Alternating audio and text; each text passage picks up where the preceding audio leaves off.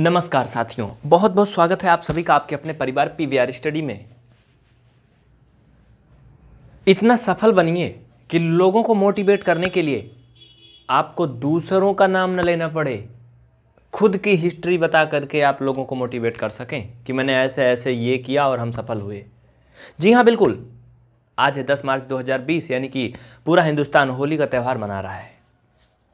और आप ये क्लास देख रहे हैं, हो सकता है होली के बाद देख रहे हो।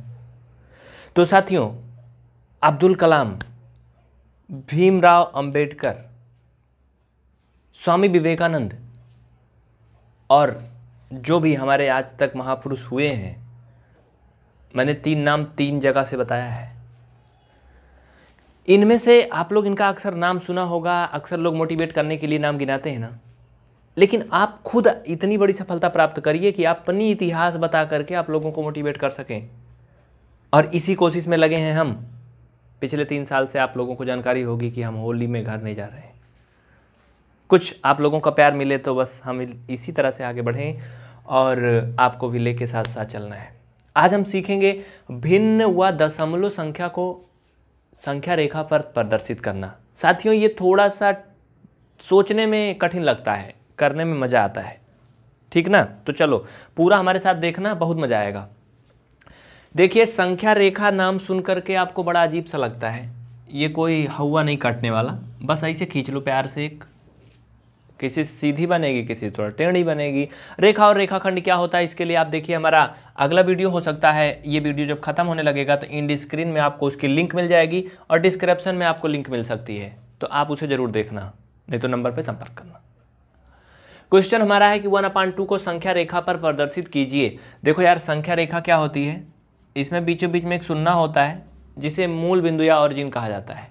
इसके दाहिनी साइड सभी अंक प्लस होते हैं, बाई साइड सभी क्या होते हैं? माइनस होते हैं। तो यहाँ पर ये वन और यहाँ पर क्या है ये? दो। समझते जाना। और चलो छोटा छोटा लिखते हैं।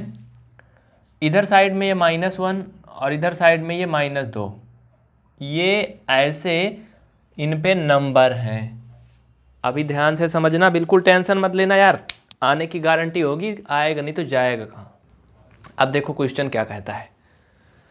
क्वेश्चन ये कह रहा है कि वन अपान टू, देखो ये अलग अलग संख्या हैं। ये भिन्न सब अलग अलग हैं, इनमें तीन क्वेश्चन बनेंगे। अलग अलग इनको दिखाना है, चाहे तो एक में दिखा दो। समझो। वन अपान टू को इस संख्या रेखा पर दिखाओ। अब यार ये सोचो अगर एक बोला होता तो हम दिखा देते, माइनस एक ये है। दो बोलता तो हम दिखा देते, दो यहाँ है। अगर कहा होता कि संख्या रेखा पर तीन को प्रदर्शित करो तो हम यही दिखा देते, ये लो तीन यहाँ है। ना? मतलब बना देते, ये देखो तीन है। लेकिन ये तो एक बटा दुई कह रहा है। अब ये तो इसमें कहीं है नहीं। तो यही थोड़ा सा दिमाग लगाना है। बस छोटा सा दिमाग लगाना यार। चलो देखो। ये बताओ एक्चुअल में जो वन अपान टू है, ये इनमें से किसी के बीच में तो होगा? ऐसा तो नहीं कहीं से गिरा है, ये दूसरे देश से आया है। देखो इधर, इसको ऐसे समझ सकते हो, जब इसे आप दशमलव में बदलोगे तो ज़ीरो पॉइंट फाइव आएगा। देखो, अब आपके दिमाग में आ रहा होगा। ज़ीरो पॉइंट फाइव आया ना? यहाँ से ये स्पष्ट होता है कि ये एक से तो कम है, पक्का। एक से कम है। हाँ? लेकिन ज़ीरो से ज़्यादा है, क्योंकि पॉइंट फाइव है। इसका मतलब ये कंफर्म हो गया कि एक और किसके बीच में है? ज़ीरो और एक के बीच में है ना? तो यार ये ज़ीरो और एक के बीच में है। ज़ीरो और एक के बीच में है, एक और दो के नहीं, ज़ीरो और एक के बीच में। लेकिन अब इसमें एक और भी झंझट है। वो झंझट कौन सा है? आप लोग ध्यान से देखना। वो ये है कि इसमें होगा कैसे और कहाँ होगा, और इसे हम कैसे दिखाएँगे। तो देखो, जितना नीचे हर रहेगा, जैसे इसमें दो है ना? पहले तो ये कंफर्म करना कि किसके किसके बीच में होगा। जैसे हम ये जान गए कि ज़ीरो और एक के बीच में होगा तो अब हम इसके बीच के भाग को उतने पार्ट में बांटेंगे जितने पार्ट में ये मतलब जितना यहाँ लिखा रहेगा। दो है तो इसके बीच के भाग को दो बराबर भाग में बांटेंगे। तो ये मैंने यहाँ पर एक बिंदु रख दिया। अब ये देखो इसके दो भाग हो गए। एक ज़ीरो और इधर वाला खाना और एक एक और इधर का। दो हो गया ना? और जहाँ पर ये मैंने रखा है, यहीं पर होगा आपका एक बटा दो। बात समझ में आ गई ना? तो फटाफट आप लोग वीडियो को तुरंत लाइक कर दो, जल्दी से, बिना देर करे हुए। जल्दी से करिए, तुरंत लाइक करिए और फिर आगे बढ़ते हैं हम लोग। देखते रहना बस, जाना नहीं कहीं। चलिए, ये तो हो गया हमारा एक छोटा सा क्वेश्चन दूसरा, ये अब मुसीबत है कि वन अपान थ्री कहाँ होगा भाई साहब? किधर से आया ये? कहाँ जाएगा? देखो वन अपान जो थ्री है, पहले इसके बारे में समझो कि इसके बीच में होगा। अब इसे हमें दशमलव में बदलना नहीं आता तो हम एक में भाग करेंगे तीन से। ऊपर हम दशमलव बढ़ा के यहाँ ज़ीरो उतार के तीन बार ले जाएँगे, फिर नौ आएगा, और फिर कितना आएगा? एक, ज़ीरो मतलब कहने का तीन तीन तीन बार बार आता जाएगा। लेकिन यहाँ से ये कंफर्म होता है कि ज़ीरो दशमलव तीन चार लगभग में इसे लिख सकते हो आप। सार्थक अंक और कोटिमान अगर पढ़े हो तो जानते होंगे, इसको लगभग में इतना लिख सकते हो। हमें बस यही कंफर्म करना था कि ये किसके बीच में है? तो ये भी ज़ीरो और वन के बीच में है। ज़ीरो और वन के बीच में है। बात समझ में आई ना? ठीक। अब देखो, ज़ीरो और वन के अगर बीच में है तो अब इसको मिटा दें। अब इसके लिए कार्य करें इस पर ध्यान से समझना। तो अब हमारा ये क्वेश्चन यहीं पे हो गया, ख़त्म। इसे आप लिख लिए हो तो बना लो जल्दी से, नहीं तो फिर हम मिटा रहे हैं। क्योंकि इसको दिखाने के लिए हमें इसका सिस्टम चेंज करना पड़ेगा थोड़ा सा। तो हो गया। देखो, चलो, अब एक बटा तीन को दिखाते हैं, इसको मिटा दो। हमने इसको मिटा दिया, अब यहाँ पे कोई इसका अस्तित्व नहीं है। हाँ। ये तो डिसाइड हो गया कि एक बटा तीन जो है किसके बीच में है, ये कंफर्म हो गया ज़ीरो और वन के बीच में। अब इसके कितने टुकड़े करोगे, कितने पार्ट करोगे? यहाँ पर जो गिनती होगी, तीन है ना?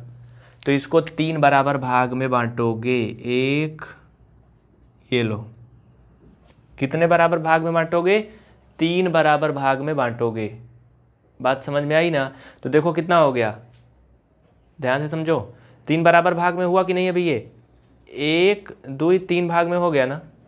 तीन भाग में हो गया। तो अब समझना। यहीं से चलेंगे आगे से। देखो, एक, दो, तीन। ना? तो एक बटा तीन कहाँ होगा? सोचो कहाँ होगा। एक बटा तीन का मतलब क्या होता है? ठीक है, अब ध्यान देना यहाँ पर। देखो, हम कोशिश करेंगे कि आपको सब कुछ क्लियर हो। हमने क्या कहा? इसको तीन बराबर भाग में बांट दो। मैंने बांट दिया। अच्छा चलो सोचो। एक छोटा सा इधर एग्ज़ाम्पल ले लें हम। एक बटा तीन को हम आपको समझा दें कि एक बटा तीन मतलब होता क्या है। जैसे ये आप यहाँ पर देख रहे हो ना, दिख रहा है कि नहीं यहाँ पे? तो ये दिख रहा है। अब देखो, इसको तीन भाग में पहले बांटो। बराबर बराबर। जैसे मान लो तीन भाई हैं, चलो। अब इनको तीन हिस्सा मतलब बन गया है, एक एक को कितना आएगा बताओ। भाई, एक को इतने तो आएगा ना। मतलब ये क्या है? एक बटा तीन भाग है। अब बात समझ में आई? तो जब यहाँ पर इसी तरह से हमने संख्या रेखा पर तीन भाग किए हैं, एक, दो, तीन तो एक बटा तीन कहाँ होगा? एक बटा तीन हमारा इसी पर तो होगा, वन अपान थ्री। बात समझ में आई ना? समझ में आई? तो ये हो गया क्या, वन अपान थ्री? ये संख्या रेखा पर आप इसे समझ गए। इसी तरह से अभी हमने आपको वन अपान टू बताया था। अगर वन अपान सेवन को हम डिनोट करेंगे, इसका मतलब ये हुआ कि एक भाग के सात टुकड़े करने हैं। मतलब अब जैसे ये देख रहे हो, इसके सात भाग करो। तो सात भाग मतलब जान रहे हो?